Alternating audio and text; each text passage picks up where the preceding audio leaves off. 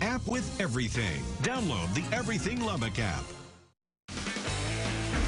This is KMAC Red Raider Nation's countdown to kickoff. Sponsored by Covenant Medical Group Orthopedics and Sports Medicine. All right, we're almost done here live at Jones AT&T Stadium. We just heard the Matador song behind us. I think the team's about to take the field, so we got to give you what to watch for in this contest before we go, and we'll let you go first. Yeah, I'm going to start with the uh, Texas Tech secondary because we've talked about it for now a couple different weeks. You can say whatever you want about it, whether it's a lack of depth, whether it's just guys haven't stepped up. The secondary hasn't been good. Mm-hmm. Doug Coleman has been a bright spot. I'll give you that. Yep. But in terms of interceptions, yeah, but outside that, giving up yards has been horrific to some really, really bad passing offenses, especially West Virginia. We see Austin Kendall get pulled, and we probably think, oh, well, he didn't have a good day.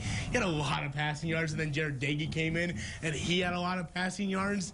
So if TCU can't establish the running game or if that front seven has any sort of success against it, TCU will go to the air, and then I assume the passing offense, if they have success there, will open up the running offense. Yeah, to go back to that, you definitely don't want TCU to be able to pass the ball down the field. West Virginia, once they got down the field, they couldn't run it in. This TCU team can definitely probably run the ball, and that's where I go. I go trying to stop that run game initially because, to be honest with you, I think the more we see Max Duggan throw the football down the field, the more likely that the Red Raiders might have success intercepting that ball or uh, batting it down. I just think making him beat you as opposed to the running backs is what you want to do. And here's an interesting idea. We talked about considering with what the defense has done, especially in the past few games. Keith Patterson earlier this week says he doesn't believe in defend don't break, mm-hmm. which is interesting considering that's kind of what his defense has lived off of a little bit. They certainly did that last week. All right, we've set our piece on the game. Let's check in with Ryan Hyatt back at the studio with his final call. Thanks, David. I want to go back in history a long time ago in a galaxy far, far away.